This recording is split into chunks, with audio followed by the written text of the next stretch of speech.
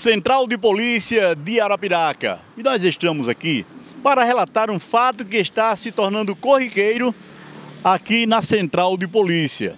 O que acontece é o roubo da tal Central da Moto Pop 110. Quase que diariamente aqui na Central está chegando muitas denúncias e muitas queixas. E tem aquelas pessoas também que nem procuram aqui a polícia. Mas é importante que, se você foi furtado, que procure a central de polícia.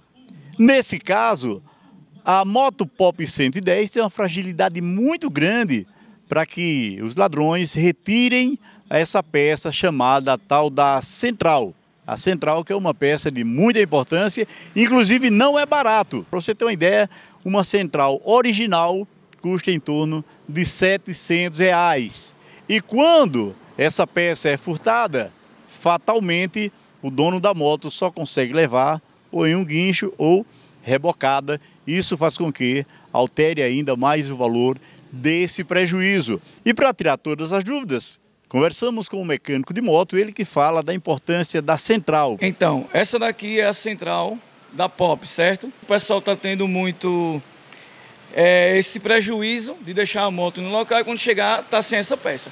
Essa peça fica aqui do lado direito da moto Aí eles pegam rapidamente e retiram essa peça.